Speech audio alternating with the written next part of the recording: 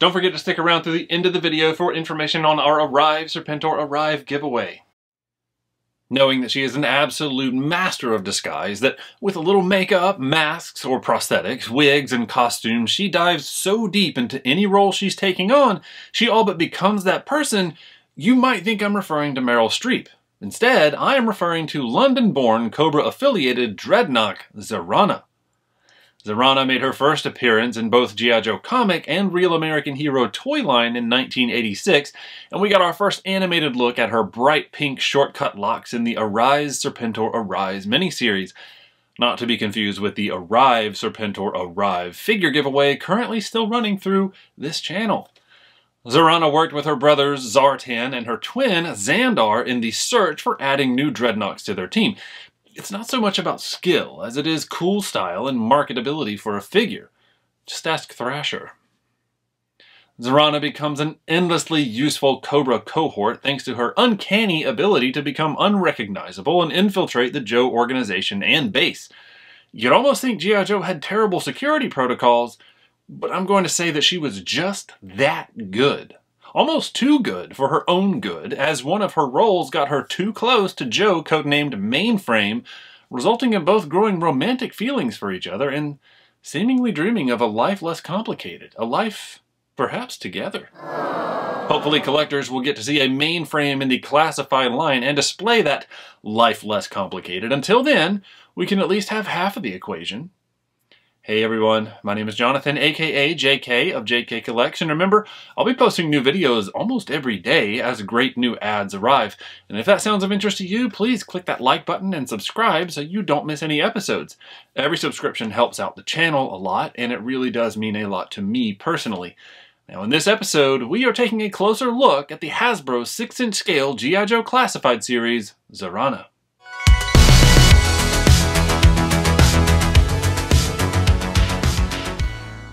Hey everyone, welcome back, and here she is, the master of disguise, the Dreadnok Zarana herself. I can't tell you how excited I am about this one. This, she is one of my favorite all-time figures uh, from the Real American Hero line, favorite character. I was over the moon when I heard that they were making this figure uh, and they announced it. And look, here it already is. I thought we were going to have to wait until next year. Now, I know some people have already had their hands on this for weeks. I have no idea how they managed that, but you know what? I got mine and I am thrilled to share it with you.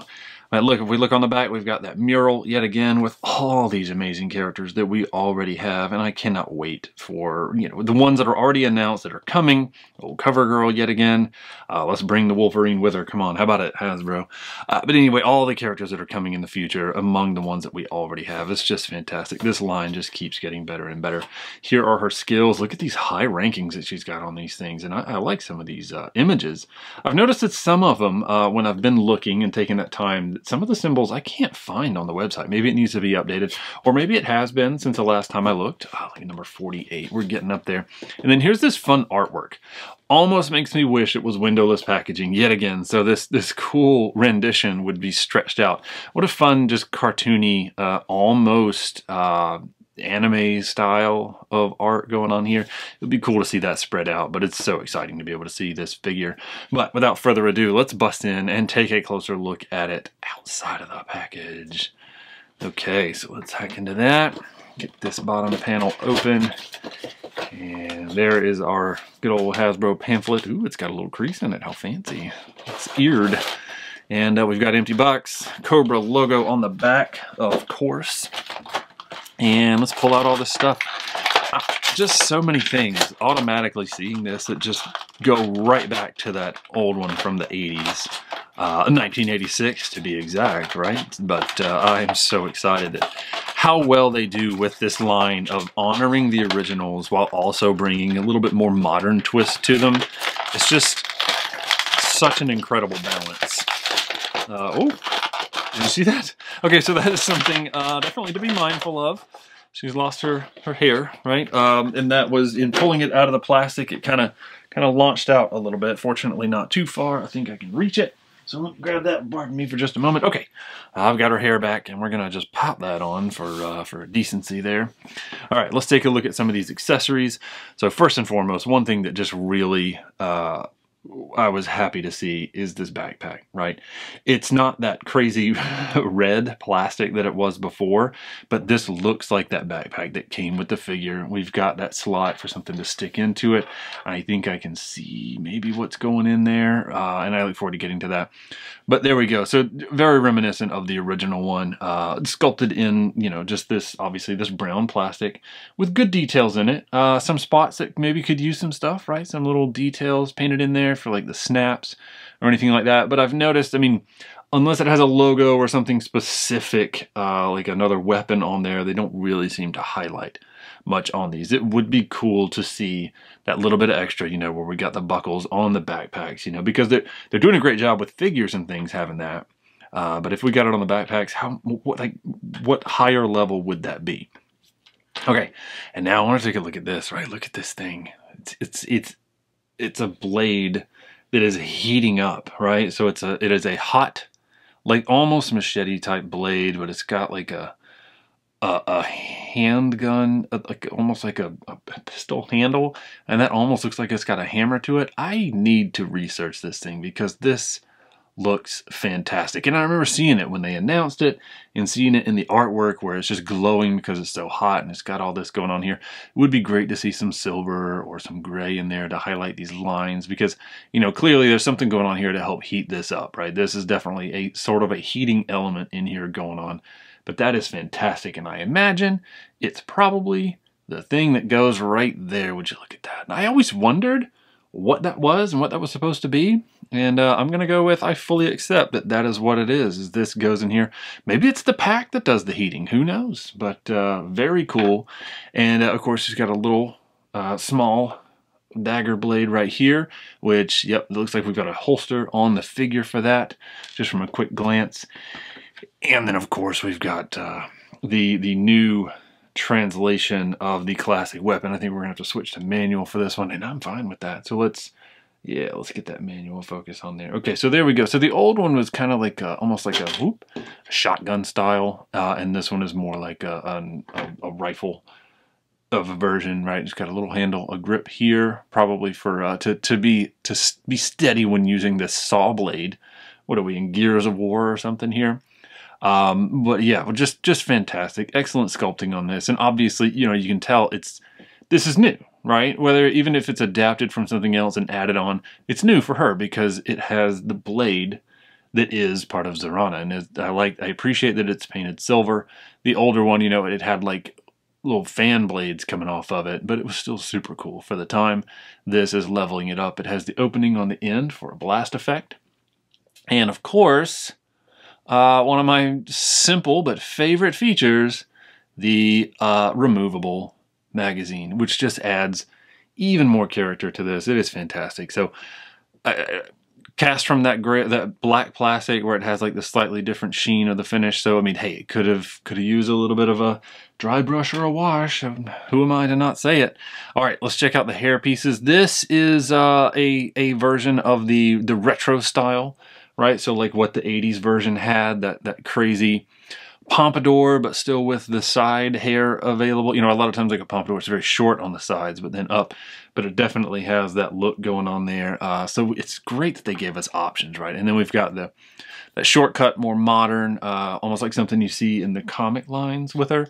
So it's very cool to see that, and it changes out so easily, so easily. Uh, the bald head kind of makes me a little uncomfortable. Looks a little weird, uh, but fortunately, it's uh, it is a short-lived situation. One thing that I see right here is the sideburns. They do seem to want to flex underneath, so be careful with those, you know, because yes, it is a rubbery plastic, and yes, it is very soft and seemingly very forgiving, but I feel like something like that is only forgiving for so long. Uh, but there we go. So we've got that hair on there. And just a closer look at this, it's got, uh, so it is the pink right? Dyed pink, but then we've got blonde showing through and we've got purple underneath. Now, if I'm not mistaken, I believe she's naturally a, uh, a brunette and she dyes it. So there's a whole lot of dye action going on here. We've got the purple underneath and then the blonde leading into the pink. So definitely some time spent in the chair uh, working on that hairdo uh, and some time spent in the chair getting this one to stand up. Right. Okay. But enough about the hair. Let's uh, let's move on. Granted that is a big part of her her character right? Whether it's uh, for a costume or not. So the face very well done. It, it is so exciting to see this one in in such detail uh, and just the character brought out so well. Um, the the face is done very cleanly. I, I am not seeing any issues uh, in looking at this. It has that realistic face, even if it's not someone's face. It almost looks like somebody that you knew. The eyebrows are painted very well. The eyes also, like the outline to it. We even have the eye shadow that is a Zarana thing.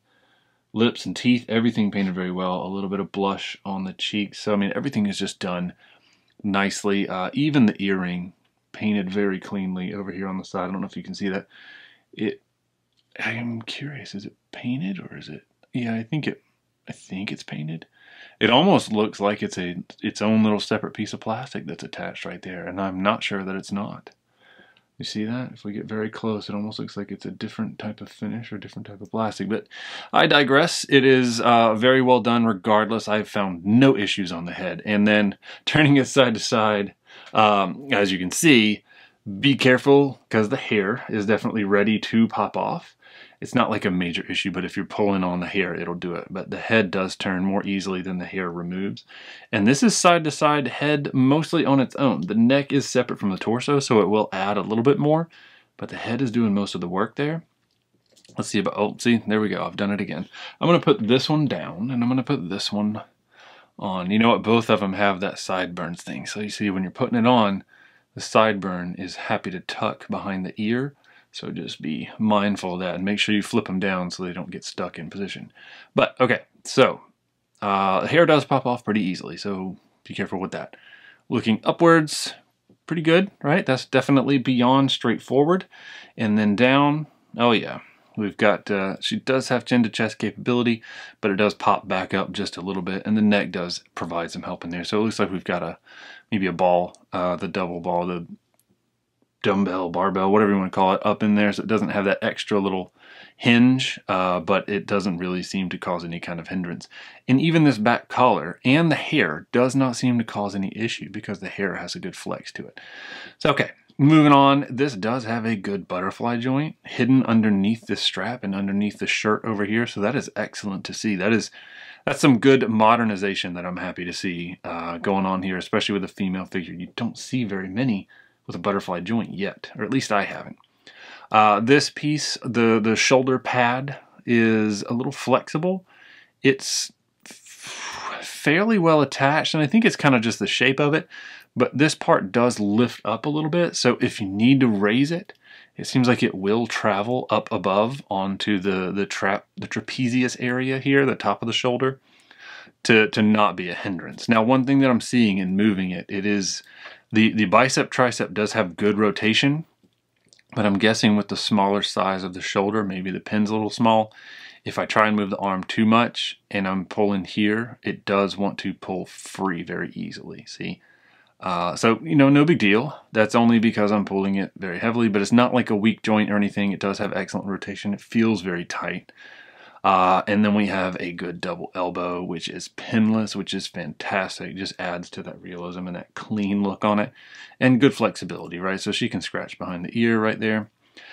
And uh, we do not have forearm rotation, but we do have wrist rotation and very little uh, hindrance to the forward backward. There I go, I've popped the arm off yet again. So the forward backwards on this one, and it is a trigger finger ready to hold a weapon. So then, and same thing on this side, uh, the this shoulder pad, uh, all the, albeit slightly different, doesn't have the spikes on it. It will hit the shirt up here, uh, but not too bad. I mean, even if you don't move it around too much, it doesn't hinder the arm too terribly. It does stop right about here. If you try and go beyond it, that's where the bicep tricep start to uh, separate. So just be mindful there. Same functionality, same hand, right? So that same weapon holding hand, but this one is an up and down, right? So we've got forward, backward over here, up and down on this side. Uh, mid torso slash lower uh, rib cage, good flexibility there, right? So it definitely moves around. I don't really feel There's a there's a, a click right there. Forward, not the best, right? For for this joint, forward is not the greatest, uh, but back is pretty good. So she will lean back, and as you can see, very impressive job right here with the uh, the core, right? The abs coming up, and then the uh, the lower that line right there. It does not go much. You have to actually force it to see beyond that. So the sculpting goes as far as it leans back. So that is excellent to see, uh, especially with this shorter top. Forward, it does not want to move. And if you force it, you're going to get this gap back here on the back. Uh, but we do have excellent waist movement because the waist does have the ability to pivot and move around, you see? So it's not just a, a rotate, it actually does shift forward and backwards. And it does it very well because it is on a, it feels like a ball joint down there. Uh, and it doesn't really create too bad of a gap like when rotating it, right? So it was it was done pretty cleanly uh, with this transition. And this is uh, rubberized blue uh, plastic, and then we've got a little bit of brown paint on there. Uh, but it doesn't seem like paint rub is going to be too much of an issue, even with this cast flesh tone plastic. The legs do the good old pull down, so we've got a full-on Dreadnok split. Uh, she's very agile, very limber. So she's got to be able to fit into any role, even if it's apparently a gymnast. And we have upper thigh rotation, uh, which is good. And I appreciate that the tear here is not going above this line, nor is this pad. So you don't have something that randomly breaks if you have to turn it. So that's good. It kind of helps with that continuity. One thing I see here is this slightly different texture or finish than the leg. So this might be a reuse from someone, and then this is new sculpt or leg for Zarana because I don't remember anybody having the exposed thigh right there. Okay, but we've got a double knee in here. Uh, excellent. Look at that flexibility. Look at that arm come flying off. Okay, so I'm I'm I'm gonna go ahead and say that's a little bit weak joint. I hope that that's just for mine, um, but that flexibility is fantastic. That uh, gonna be careful with that little piece back there. And I like that the knee pad comes up and covers a lot of this. So it, it just kind of helps mask where that that pinless double knee is. And we do have uh, boot rotation, uh, upper calf like on the boot line. It does move this pad with it as you can see. So it kind of rotates with it. And then of course with the foot, we've got a very good backwards very good forwards, and good old breaker, right? So excellent. And the boot, a lot of times this boot bottom can interfere with foot movement, and it doesn't seem to be doing so. So, and then same thing on the other side. All right, now that we got that, let's take a closer look at paint apps, right? So not many more from what we've already seen. So there were a lot on the head, right, with the hair and whatnot. Uh, but then on the shirt, we've got the silver, which travels around to the back. It looks like there's a little pink showing through as we get over here but not enough to really be an issue. And also, if you put the backpack on, uh, it's it's going to cover that up. But we do have the brown painted on, looking fairly clean. That line is a little sloppy, but that is very close up. And then the the the buckle or this loop right here, um, silver, seems very well done. Uh, all in all, yeah, because that even that tiny little bit right there works very well. And then coming around to the forward, a good texture on this. And then these silver buckles are also painted very well. And uh, yeah, I don't really see too many issues standing out. And the zipper painted silver, even with that zipper look still coming through. So enough silver to not have just massive amounts of pink showing through, but also to still keep that zipper texture. So very cool to see all that. Uh, what this zips to, don't ask me. I guess she tore it off. You know, whatever. It's a zipper that goes up and attaches to nothing. Uh, the rest of it, we've got this chain here on the side and of course the brown belt. Now when I was looking at this, there's the brown kind of fades, doesn't cover the blue entirely right by this loop. And just random spots, but nothing too terrible. The pink on the tears I think is very well done. Uh, I don't know if it was intended to match, but it definitely does not. It is definitely a different shade of pink for the tights that she has on underneath. Uh, and maybe that was just to not have these crazy exposed flesh tone thighs. But either way, it, it's not a detractor uh, because we have a different shade of pink up here. So it works that she has multiple shades. It's her color. She likes it whatever uh, shade it is. But there is a little bit of blue showing through here with this being that cast blue plastic. And then uh, back here, yeah, the spurs showing through. They're, they are also well painted and the brown on the boots down here. So excellent job, and the pads on the inside. All in all, fantastic figure. I I could not be more thrilled. I was excited for this to be coming. I was excited that it came out early. Uh, I was excited when I saw that people were getting them, and I was like, gosh, I hope I am able to get my hands on one soon. And sure enough, here it is. I'm so excited it came in today. So let's see how she stands up on her own, even with the backpack on. And there we have it. There is Zarana, and we will be right back with a 360 view of her.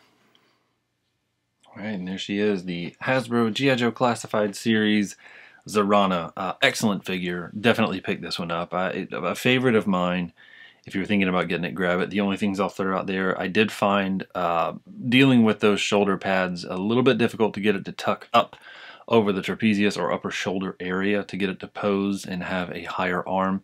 So an opportunity on that one, but not enough to be a detractor. I think it's an excellent figure. Um, yeah, I hope you enjoyed it.